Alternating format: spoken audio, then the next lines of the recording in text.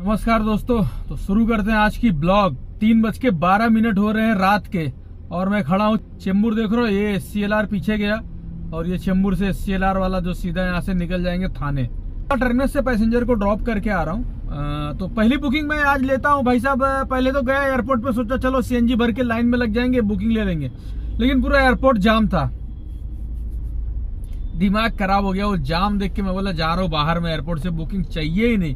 Booking आने के बाद पैसेंजर को पिक करके निकलने में एक घंटा हो जाएगा इतने ट्रैफ़िक में।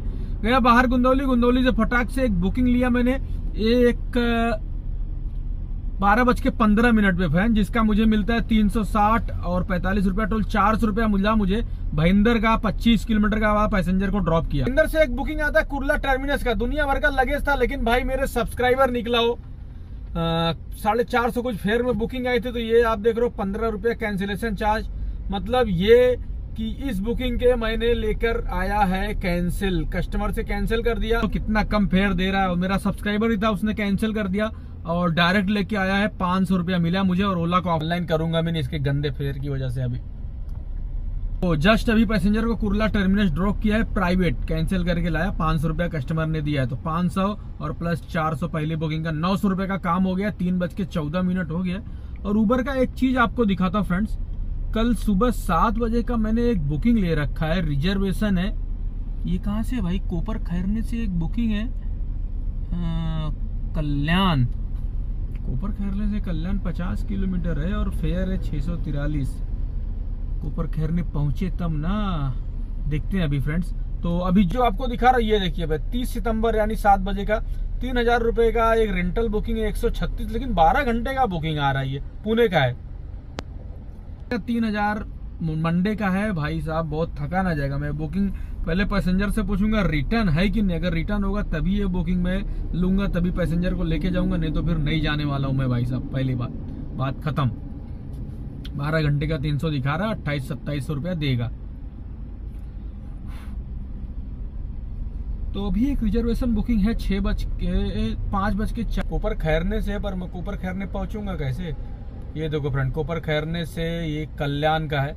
तो नहीं ले रहा हूँ, क्योंकि कोपर खैरने यहाँ से पहुँचना मुश्किल है और फेयर कुछ हिसाब से ठीक ठाक नहीं है ये। तो देखते हैं, अभी और कोई बुकिंग यहाँ पे मिलता है कि नहीं, थोड़ा आराम भी कर लेता हूँ। 900 का काम तो कर ही लिया तुम्हारे भाई ने।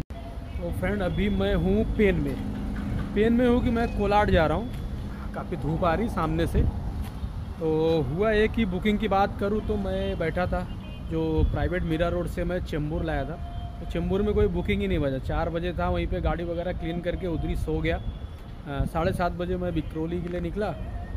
बिक्रोली गया और बिक्रोली भाई साहब, वहाँ भी बुकिंग नहीं बजा तो पौने ग्यारह वगैरह बजे मुझे इंटरसिटी लगा, कोनाड का। कोलाड लेके, कोलाड के पहले ही है, रोहा और कोलाड के बीच में है तो वहाँ पे जा रहा हूँ मैं लेके।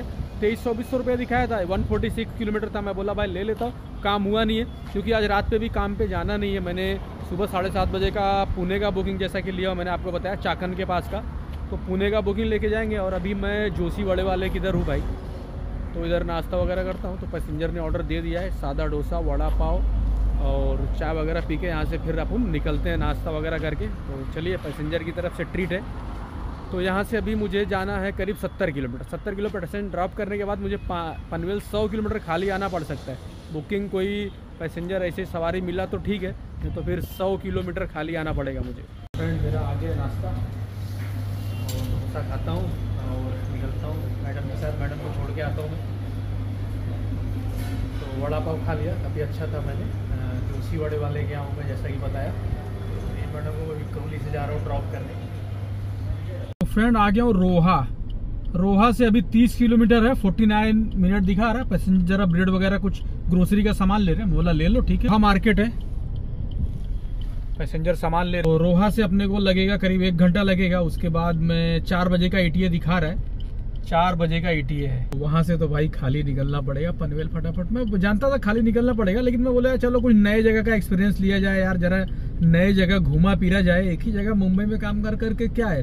कभी अच्छा कोकन का इलाका है, इसलिए मैं बोला, चलो चलते हैं, कोई वादा नहीं, खाली आ जाएँगे, लेकिन थोड़ा घूम फिर लेंगे यार।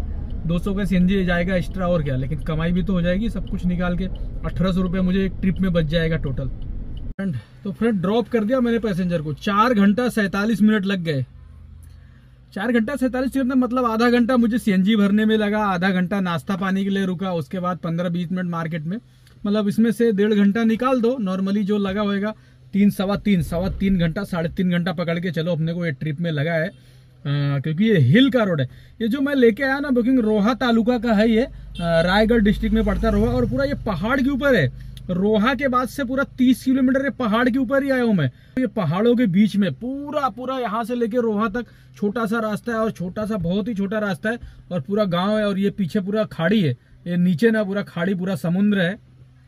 और चलो आपको स्टैंड पे रख के दिखाता हूँ। नहीं नहीं भाई कॉल्डिंग नहीं कर पाऊँगा क्योंकि भाई सिंगल वे का रास्ता है, वो भी दो गाड़ी बहुत मुश्किल से पास होती है, इसलिए गाड़ी पे चलाने पे उधर ज़्यादा ध्यान देगा।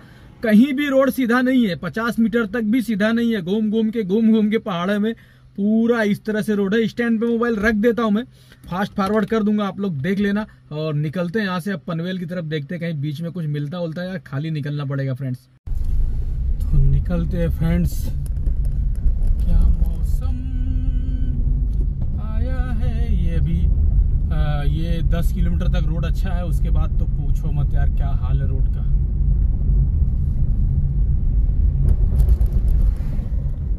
चलो निकलते हैं, मोबाइल पे ध्यान दूँगा तो भटक जाऊँगा। लेकिन बहुत ही खूबसूरत जगह है भाई, इंदापुर मीठा घर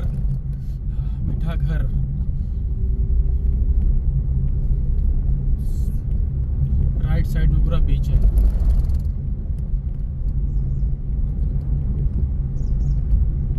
देख रो जनता, ये पूरा पहाड़ों के ऊपर का एरिया है। पूरा पहाड़ी पहाड़ है। जहाँ तक देखो और मैं भी पहाड़ के ऊपर ही हूँ एक समय।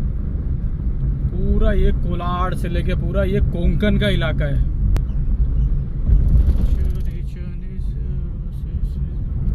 ये देखो फ्रेंड रास्ते देखो आप लोग। देख रहे हो, ये इसी पे एसटी की बसें भी आ रही है, इसी पे जा रही हैं, दो गाड़ियाँ आती है तो क्रॉस करने में भी काफ़ी दिक्कत होता है। एकदम सिंगल लेन का रास्ता है।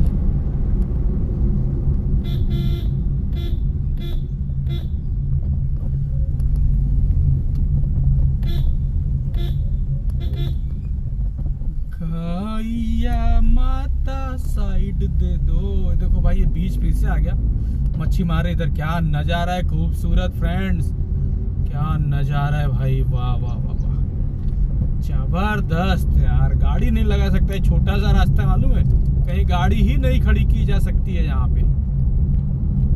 जंगलों में मैं कहा आ गया? तो आज जो ये काम, ये वाला किया ना फ्रेंड समझ लो मैं खाली जा रहा हूँ। तो यानी 600 की सीएनजी में ये मेरा चौबीस सौ का काम हुआ है। पैंतालीस वासी वाला टोल रिफंड अलग से लिया हूँ। तो तेईस सौ नब्बे, चौबीस सौ का काम हुआ है। बुरा नहीं है यार। चार घंटा आना, आठ घंटे में अपना समझ लो। पनवेल जा रहा हूँ, पनवेल से कोई बुकिंग मिल जाएगा अपने को। खाली निकलूँगा वेट नहीं करूँगा। क्योंकि मैं जानता था भाई, ये काम का बुकिंग है, ले लो। घर पे जाके बैठना ही है, क्योंकि कल सुबह सात बजे का मैंने बुकिंग ले रखा है। बारह घंटे का एक और ड्यूटी है, वो वाला काम करेंगे। हाँ मस्त एकदम भाई, क्या मस्त खूबसूरत जगह है यार। हाँ आ गया दोस्तों देख रहे हो भाई साहब रास्ता। वाह वाह वाह। घनघोर प्रकृति का मज़ा लेते हुए जा रहा हूँ मैं सिंगल रोड पे। कैसे कैसे लोग रहते हैं भाई? इतना मेहनत किया, मैं सोचा आज रात के काम पे नहीं निकलूँगा। जिस बुकिंग के लिए मैंने शेड्यूल किया टाइम वो बुकिंग ही देख रहा हूँ भाई रिजर्वेशन से गायब है। यानी पैसेंजर ने कर दिया कैंसिल कल सुबह का जो मैंने सात बजे पूना का लिया अच्छा भाई, अभी कैंसिल कर दिया, नहीं तो सुबह सुबह मैं उसके लिए भागा दौड़ी करता और देखता भाई, अरे बुकिंग कैंसिल अच्छा हुआ, अभी देख लिया मैंने बुकिंग कैंसिल है तो ये देखो फ्रेंड्स रिजर्वेशन में जो पुणे का इंटरसिटी था, दो दिन पहले लेके रखा था मैंने, गायब है।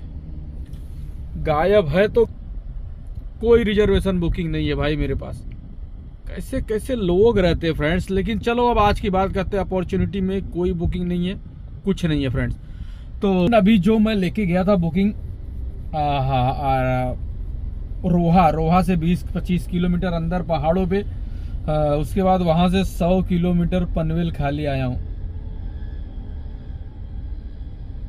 हालाँकि यानी कि टोटल जो मेरा आना जाना हो गया हालाँकि दस रुपए किलोमीटर मुझे मिल गया। क्वांटिटी देखो यहाँ पे फ्रेंड दस रुपए किलोमीटर नहीं देखना यहाँ पे क्वांटिटी देखना है अपने को कितना काम हो गया। तो यहाँ पे मैंने जो चौबीस सौ रुपये जो मुझे मिला है सात सौ की सीएनजी पकड़ के चलो। 600 से ज़्यादा ही गई है सीएनजी भाई, क्योंकि 100 किलोमीटर खाली आया और 150 यानी साढ़े छः सौ की लगभग सीएनजी गई है, क्योंकि दो बार सीएनजी भरा हूँ हिसाब गड़बड़ हो रहा है। तो इस तरह से क्वांटिटी देखो 2400 का काम है। वहाँ पे बैठे रहता तो आलस हो जाता भाई। तो मैंने वो करके निपटा दिया, वहाँ पे 1700 का ये फ़ायदा हो गया मेरा। 900 का खाली रात में काम करके बैठा था, पता है आप लोग को? लाहौर, पनवेल आने के बाद सीएनजी का पैसा वसूल जनता पनवेल आने के बाद लाल बाग का बुकिंग लग गया मुझे साढ़े पाँच सौ रुपया। पाँच सौ पचपन रुपया मिला है। चालीस किलोमीटर का और अटल सेतु मार के आया रहेगा। मैंने 40-50 मिनट लगा होगा। धन्नाम से लागे पैसेंजर को ड्रॉप कर दिया तो इस बुकिंग के साथ पूरा सीएनजी का पैसा ही कवर हो गया भाई, पाँच रुपया। तो इस तरह से आज तुम्हारे भाई ने जो काम किया है फ्रेंड्स ऑलमोस्ट मैं बता रहा हूँ स्क्रीनशॉट के साथ कितना किया हूँ मैं। तो जो सीएनजी गई है, लगभग एक हज़ार रुपए की सीएनजी गई है, और ओला में एक भी बुकिंग नहीं हुआ, सभी बुकिंग उबर में हुआ है। तो चलिए, निपटाते हैं आपको एक एक फिर से दिखाते हैं बुकिंग तो ये जो पहली बुकिंग मैंने फ्रेंड लिया था एयरपोर्ट से बाहर निकल के मीरा रोड का टोल के साथ मुझे ये 400 मिला। दूसरी बुकिंग वहाँ से प्राइवेट लाया, मेरा सब्सक्राइबर इतबाक की बात देखो, इसका मुझे पाँच सौ रुपया जो मिला है बुकिंग का जो मैं साढ़े पाँच सौ रुपया ड्रॉप किया ना, वो भी मेरा एक सब्सक्राइबर निकला भाई। और वो इतना बड़ा आखिरी में उसने बताया, भाई आपका किराने का माल भी है मोबाइल का माल भी आपके बेटे का चैनल भी मैं देखता हूँ। बोलो क्या बात कर रहे हैं? हाँ भाई, उत्कर्ष ब्लॉग्स देखता हूँ। तो मेरे बेटे का चैनल फैमिली चैनल का नाम है उत्कर्ष ब्लॉग्स। ब्लॉग्स हाँ जेड रहेगा लास्ट में फ्रेंड आप लोग जाके ज़रूर देख लेना उत्कर्ष ब्लॉग्स। मेरे बेटे के चैनल को भी सब्सक्राइब कर लेना आप लोग। तो बोला, भाई एक एक दिन में दो दो सब्सक्राइबर आज मेरे दो दो सब्सक्राइबर का भाड़ा मिल गया। बाकी रास्ते में तो रोग दो चार लोग मिलते ही मुझसे। बाकी मेरे सब्सक्राइबर का भाड़ा मिल गया। तो चलो, ये भाई पाँच चार नौ सौ रात में काम हो गया। ये वाला बुकिंग देखो फ्रेंड तेईस सौ छियालीस रुपया मुझे मिला है। एक सौ पैंतालीस किलोमीटर था, इसमें पैंतालीस एक टोल भी आया मेरे को। आखिरी बुकिंग देख रहे हो आप लोग, चालीस किलोमीटर के लिए चौवालीस मिनट लगे हैं। पाँच सौ पचपन रुपया मिला है मुझे, और ढाई सौ टोल रिफंड का अलग से मिला अटल सेतु का। तो इस तरह से जो काम हुआ है, साढ़े अड़तीस सौ, चलो अड़तीस सौ रुपए का काम हुआ है नौ सौ पे जहाँ अटक रहा था, जहाँ बिक्रोली में मैं दस बजे तक वेट किया, सोचा यार अब तो बुकिंग नहीं मिलेगा, अब निकलता हूँ घर पे। लेकिन थोड़ा सा सबर किया, दोस्त यार वहाँ पे मिल गए पाँच छह गाड़ियाँ आ गए, सब उसी में बातें कर रहे थे, भाई आज बुकिंग नहीं है। तो उसी में अचानक बात ही कर रहा था, सबके सामने मेरा बसता एक इंटरसिटी कहाँ का था, वो समझ में नहीं आया, क्योंकि गाँव का नाम लिख के आ रहा था सोमाले ऐसा कुछ गाँव का नाम था, जहाँ मैंने ड्रॉप किया, एकदम पहाड़ पे, वो गाँव भी तो एकदम लास्ट पहाड़ के एकदम चोटी पे गाँव तो था ही था, लेकिन जो इनका गाँव था गेट वो एकदम ही पहाड़ पे था।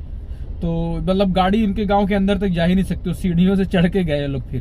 तो बातें बातें करते करते आई, मैंने उठा लिया, बोला, कहाँ का है? देखा जाएगा। पैसेंजर को डायरेक्ट फ़ोन किया, कहाँ का? बोले, वो है कोलाड के और मुरा, मुरुड के बीच में मतलब रोहा से 20 किलोमीटर पहाड़ी होगा मैं बोला, चलो यार, नया एक्सपीरियंस लेते हैं। भाड़ा तो मिला है अपने को ना, अगर खाली भी आएँगे तो दस रुपए। सोच समझ के मैंने भाड़ा लिया। मैं बोला क्वांटिटी यहाँ पे अच्छा है, मेरा पैसा बच ही जाएगा यहाँ पे सत्रह अठारह सौ रुपया, और वैसा ही हुआ। और आज देख रहे हो आप, उसी बुकिंग के वजह से आज मैंने एक हज़ार की सीएनजी में अड़तीस सौ रुपए का काम निपटा दिया, यानी अट्ठाईस सौ रुपया बचा लिया, लेकिन टाइम कितना हो गया? कल रात बारह बजे निकला था, और अभी सात आठ बजे घर आ रहा हूँ मैं। आठ बजे घर आया मैं। तो इसका मतलब ये हुआ, हालाँकि जैसा कि आप लोग जानते हो, रात भर सोया बुकिंग नहीं थी। बुकिंग तो थी नहीं, दो बजे का, तीन बजे बुकिंग कंप्लीट करने के बाद आठ बजे तक सोया ही था। यानी रात में बुकिंग नहीं थी तो वही हिसाब से समझ लो, काम तुम्हारे भाई का ठीक हो तो देखिए भाई, मन की सुनो यार, आलस मत करो। आलस पकड़ लेता, जैसे देखो, कल भी की पर की बात है, मुझे आलस नहीं पकड़ा तो मैंने अच्छा खासा काम कर लिया, और आज भी आलस नहीं पकड़ा। मैं वो इंटरसिटी सोच सोच के मैं सोचा कैंसिल कर दू कर दू कर दू मनी मन में सोच रहा था, लेकिन मेरे जो ग्रुप के फ्रेंड्स है सब भाई अच्छे फ्रेंड्स है मेरे वो सब।